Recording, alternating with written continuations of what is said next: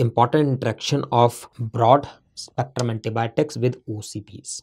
So what is the concept here is estrogen which is present in the oral contraceptives it come in the GIT after coming in the GIT it is absorbed. It goes to the blood. It goes to blood. Some of the estrogen will produce the action which we want. Systemically it is retained. But some of the estrogen it goes to liver suppose 10% is utilized systemically 90% of estrogen go to liver. And where estrogen is conjugated estrogen is conjugated it is attached to glucuronide group in the liver. Okay?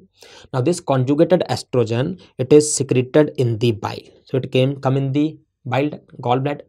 So through the gallbladder it will come in the duodenum in the git so conjugated estrogen has come in the git estrogen has come in the GIT, gallbladder drain its content in the GIT.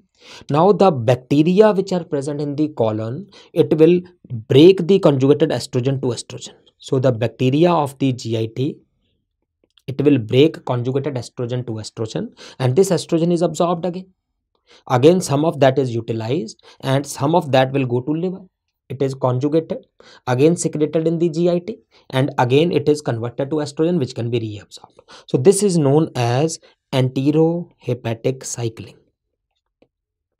So estrogen undergo enterohepatic cycling entero matlab intestine hepatic means liver so enterohepatic cycling so same estrogen is utilized again and again and again and again now, when we give a broad spectrum antibiotic like ampicillin or tetracycline, they will kill this bacteria. When this bacteria is killed, enzymes are not there. So estrogen cannot be deconjugated. When estrogen is not deconjugated, it cannot be absorbed, means it will be excreted in the feces. So the same estrogen which could have worked again is excreted. So that will lead to failure of contraception.